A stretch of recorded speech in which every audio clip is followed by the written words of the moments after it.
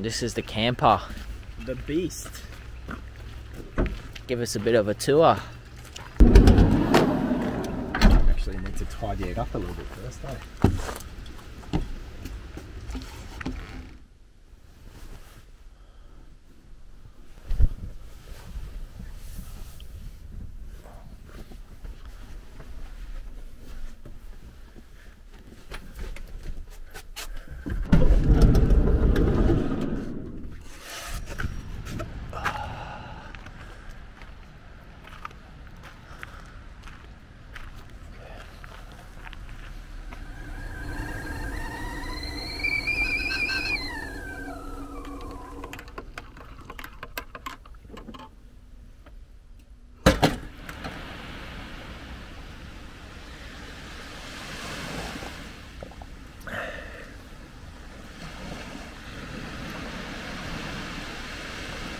Hey, so just going to do a quick rundown of this Apollo uh, HiAce high top van that we hired whilst doing a uh, four day trip here in Tassie. And so just a quick little tour of it. This is really, really cool. It's been really great for us. So if you just come on through here, just the front cabin area, uh, a little bit dusty. We're going to do a clean up. This is our last day. We're going to be returning it, but there's heaps of room here. It's got a GPS radio system. You can charge your stuff. Heaps of room all around. Here inside the um, center console area, heaps of pockets and whatnot. Going inside here. In here we have a nice little sink here. Heaps of room underneath, like that and this didn't really rattle around much as we drove. We've got a microwave that works when you're plugged into 240 volt powered site. Got a fridge that works off 12 volt. Uh, heaps of room for all the food that we needed. And over here you got your basic cookery. We did however buy an $8 frying pan because the one they give you that just ain't going to cut the mustard for your bacon and eggs okay? So we're just going to leave this here for the next customers.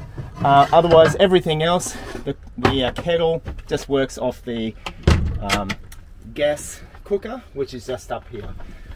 Something else these Apollo vans have is these little tables. So cool very very handy for meal prep and you know, just uh, whatever, they're great. And we always use them for our coffees and just for chopping and food preparation. Inside, you can see we've stored our, our suitcases there. And if you look around here to the back here, this all folds out into a nice open bed area. There are, you know, this table comes off easily, sits in between right there and there. There's another piece that's just behind uh, underneath the suitcases they go here.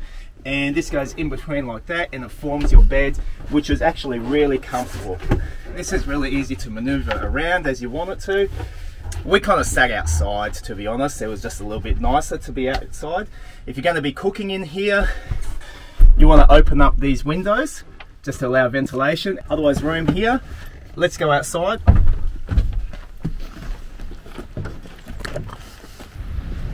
okay it's heaps of space in here. Under here you've got a hose you've got a bucket and dustpan. Dustpan you'll use like crazy to dust out everything. And lead for the 240 volt powered sites over here we got for extras the uh, two camping chairs and the little table over there. They are gold.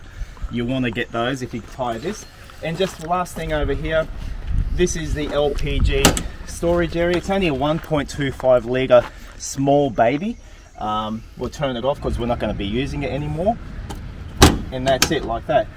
We uh, chose to pay $25 extra to have Apollo refill the gas bottle for us. It might be cheaper for us, but uh, we just thought we'd just dump it and go.